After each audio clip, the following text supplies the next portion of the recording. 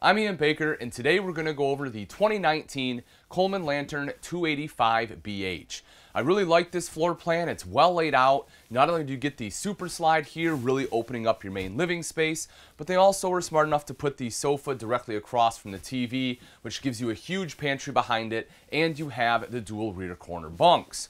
Let's start off right over here in the kitchen though. What you'll see is the beautiful seamless countertops that Coleman is using now. Uh, you know, I like this. Instead of having the T-mold where a lot of times like on an inside corner, outside corner, that T-mold will pop off. You don't have to worry about it with these countertops. It also allows you to undermount the sink. You can see they have done that. Double bowl sink, larger on the left, smaller on the right with the high-rise faucet there. New for 2019, they kind of put this backsplash up. Uh, it is just a wallboard, but it gives it a nice kind of residential aesthetic feel when you walk in. It kind of helps things pop, giving them that little extra flair. You'll also see you have your standard electrical outlet as well as a dual USB port right there. So you, you have a couple different options uh, depending on what kind of electronics you are plugging in. You also have prep space right here in the center, so you can certainly enjoy that. And then over to this side, you have a recessed cooktop with the glass cover, so you're able to utilize this as prep space as well. Obviously, this just folds up and back, doubles as a backsplash, nice and easy to clean. Three burner cooktop there. You'll see the uh, buttons on here do light up. You can turn them off if you so choose, but it's a nice extra aesthetic piece there as well. And when you drop that down, this one does have an oven in case you want to do some baking. As far as storage underneath, right here under the oven. Open that up for you. You can see that that's a big storage area under there, so perfect for some pots and pans. You have a bank of three drawers here. This bottom one is a little bit deeper than the top two. You can see that, uh, but that gives you a spot, you know, for your flatware and some other serving utensils there. And then over to this side, they didn't put a shelf in there, which I love because that gives you a spot for a trash can. We take a look at the storage up top. Pretty standard here, right above your sink. You have the double storage right there. Does go back into the corner there as well. And then, of course, the storage right over next to that. A couple LED lights underneath help light up the kitchen area. Microwave, and then uh, your hood underneath that one. And then the fridge freezer right to the side. It is a Norcold fridge freezer unit. This one does run off both propane and electric, also has automatic switchover, and you'll also see that there is storage right up above there.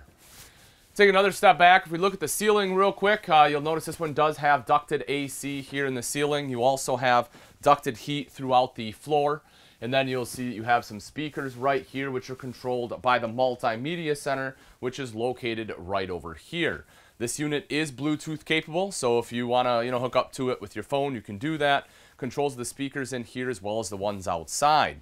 You'll also notice you have a TV front and center. As I mentioned, that's one of the things I love about this floor plan is that you have the sofa directly across from the TV, so you're able to sit here and uh, you know you don't have to crane your neck to watch it on a rainy day. A little bit of storage up top and below. If we open that up, you'll see that you have some storage right down there too.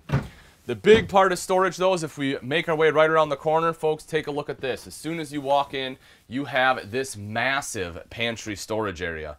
Uh, this is great for you know all of your dry foods. You'll see that there's a, uh, some extra space up in front, so you have a spot you know to put like your vacuum cleaner or broom, mop, whatever else you want to bring with you. This is absolutely massive. It, it, has a light in there too, so obviously you can see uh, what you're doing at night. Main control panel is located right up here. This has your tank monitoring panel on there, power awning, slide room, um, your water heater, pump, everything else will be located there. As I mentioned, this one is a rear corner bunk unit, 300 pound weight capacity on here. It has a built-in ladder, so that way the small ones can easily climb up, or who's ever, you know, sleeping up here can easily climb up there. Being double wide obviously is great because you can sleep two kids to a bunk, or, you know, if you want to bring some adults, uh, you can certainly do that as well. I'll kind of lay in this bottom one here just to give you an idea of size. So I'm six foot tall. Whoop, as you can see, I can kind of lay down here. My head is basically touching right here. My feet are as well, but it is definitely manageable. You have a pillow. Uh, you know, even if you're six foot, you can still sleep here pretty comfortable. Now, if you're going to be much taller than that, obviously be a little bit tougher, but, um, you know, if you're going to be shorter, perfect. There are USB ports on both the top and bottom bunk. So if, you know, the kids need to plug in electronics at night, you have the capability to do that. So that way on that rainy day, you can be sitting here watching TV and they can hang out on their tablets or whatever they uh, have to entertain them. If you take a look right back here in the bathroom, you'll see the foot flush lever toilet right there. Uh, kind of in front of that is your sink top and vanity. You'll see that they cut back the countertops. That way you have some leg room and it's a little bit easier to step into the tub there. Uh, you also have the storage underneath. And then, as I mentioned, the tub shower. And then up above is your mirrored medicine cabinet. Right outside the bathroom, you have some additional storage. Uh, personally, I, I, would have liked to have seen a, a, rod going across here to hang some clothes, but it's easy enough. You know, you can purchase a tension rod, throw it up there. Otherwise, if you want, you just have big open space and then three drawers right down below. So, you know, my opinion, this is a good spot to put some of the kids' clothes, but again, obviously, you can use it however you want.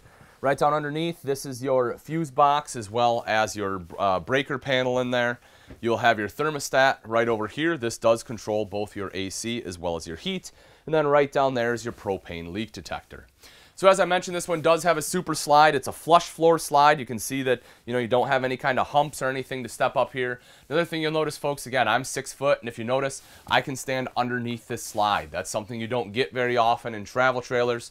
You know, a lot of times you have to duck down, or when you stand up from the couch, you'll hit your head on the slide. Not going to be a, a problem here in the Coleman Lantern.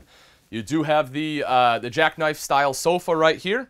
It has removable armrests on both sides. Also, you get these center ones. That way it kind of creates almost like a pseudo theater seating. So as you're sitting here watching TV, you have armrests on both sides, cup holders there as well.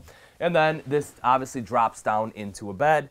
You can see that uh, you know you get a ton of storage underneath. The cool thing about this one, you'll see there's a knob. So instead of having to lift this up to access that storage, you can actually pull it down just like so. There's magnets on both sides there to lock it in place, but that gives you access to anything that's uh, underneath there, again, without having to lift the sofa up. Right over next to that is the dinette. Uh, you'll notice that they actually put lights under here for 2019, so you know, it just kind of gives it, again, that little accent, that flair, kind of helps it pop a little bit. This also drops down into a bed, and you have access to storage on one side right here quite easily with the swing open door. Right behind me here is the bedroom. You can step on in. You'll notice that this one does have an actual slider door here, which is fantastic. Uh, that way, you know, if you need a little bit of extra privacy, you can close that off at night. You'll see the uh, queen bed right up front here. Both sides have uh, excellent nightstands with drawers. You can certainly appreciate that. Then you'll also see that you have dual USB ports there as well as electrical outlets. Coming up a little bit, you have mirrored wardrobe on both sides. You'll see the hanging rod there. You also have a shelf going along the top.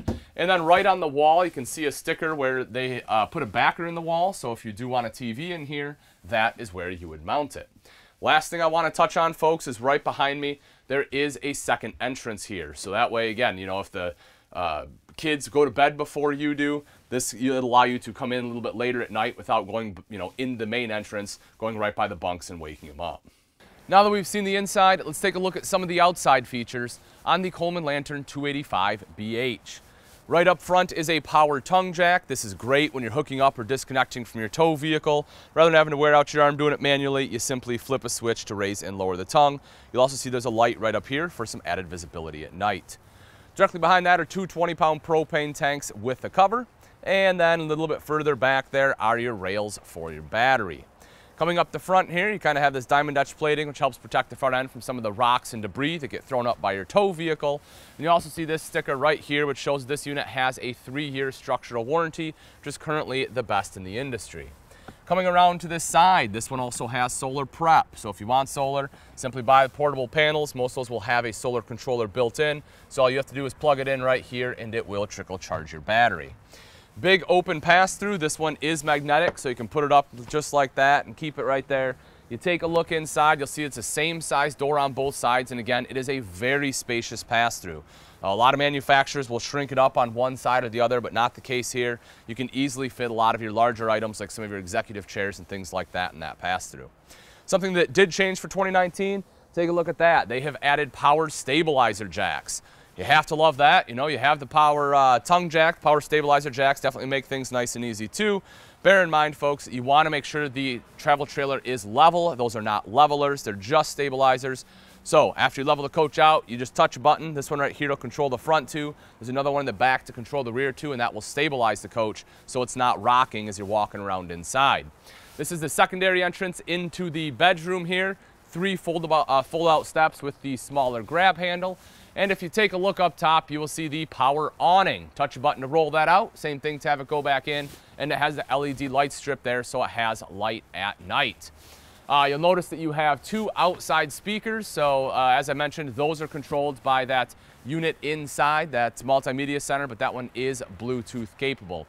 Uh, you'll see this sticker right here. It just shows that this one also has the uh, the Wi-Fi extender there, the Connect 2.0. So uh, it is pre-wired. It's prepped rather. So if you want that, you can have that installed. Having that prep there just makes uh, life a little bit easier, a little less money on you as well. You'll see right here, if you plan on doing some boondocking, you want to fill your fresh water tank, that will be the spot to do it. Electrical outlet right outside here, obviously in case you need to plug anything in. Taking a couple steps back, this one has the Lippert solid step system. A lot of manufacturers are going to a similar step, whether it's the MORryde step above or the LCI solid step. This is a great step system, folks. Extremely solid. You know, I'm over 200 pounds. You can see I can jump up and down on this thing. There's not any flex in the steps. It's wonderful. It also has aluminum treads on here so that the aluminum, uh, the treads won't rust or get all nasty looking on you. And then it has the little grippers on there so you're not slipping uh, in case it is a little damp out. Take another step back here to get into the outside kitchen. You have refrigerator for all your condiments, beverages, some storage right up top. This is a Coleman grill that comes with it. There's an arm on the back. I'll show you in just a moment here. You have pull-out prep space, little wash basin here, just attach the faucet there. Uh, you know, you can definitely appreciate the prep space outside. I know I certainly do. And as I mentioned, right underneath here, that is your control for your rear two stabilizers. So this is that arm for the grill, just pops down, swings out. It's, it's Coleman, so you know it's a standard Coleman grill. You just get the little uh, uh, green tanks, just screw it on there, you're good to go. But it does come with it, which is nice. You'll see that this one has a bumper on there, obviously, because the arm has to attach to something. Uh, but that bumper has the end caps. So that way you can pop the end caps off, kind of gives you a spot to store your sewer hose, maybe on the other side, not next to the grill arm. Uh, your shower is back here as well, your outside shower. It's always nice having it, you know, on the back or on the door side rather than the off door side, just makes it a little bit more accessible. That does have both hot and cold water access. We take a look underneath here, you'll see that this one also has a fully enclosed and insulated underbelly there. It's heated as well. Uh, so that, that way, you know, it'll help keep out all the, the road grime and also hopefully some critters in the off season. Plus it'll also help prevent your tanks and lines from freezing up on you if it starts to drop down, you know, get a little bit colder in the fall. Right up top, you'll notice this one has backup camera prep as well. So if you want a backup camera, again, having the prep there, uh, just like the Winegard prep, just makes it a little bit easier to install, saving you some money. On the off-door side, you'll see your cable inlet right up top, city water inlet underneath that, and then your black tank flush. This is great to have. It's nice and simple to use. Just take a garden hose and hook it up here. Anything that didn't get washed out with your black tank, this will help get rid of that. There's sprayers built right into it. Your 30 amp power cord is housed right over here. And if you take a look right down below, that is your main termination with both your black and gray tank valves. There is a secondary termination uh, up near the front where you have a second gray tank. All right, folks, that wraps it up. Again, this is the 2019 Coleman Lantern 285BH. If you're interested in this bunk model travel trailer and you'd like price and availability, simply click on the link in the description. Thanks again for watching. I'm Ian Baker, and let's go camping.